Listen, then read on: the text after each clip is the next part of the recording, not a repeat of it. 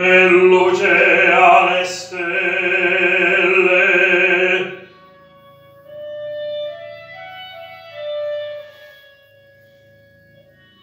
E dolezzava la bella, strideva lucido,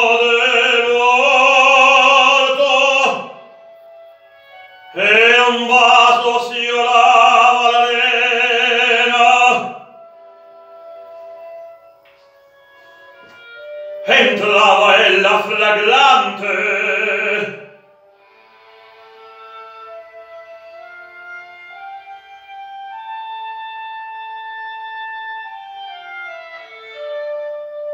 e mi cadea fra le braccia. Oh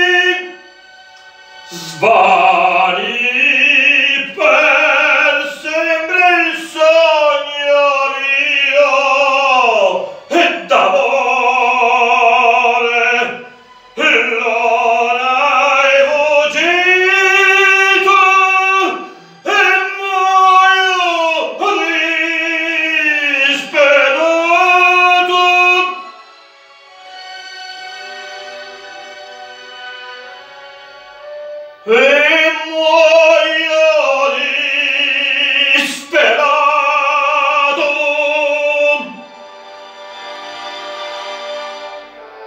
e non ho amato tanto la vita tanto la vita.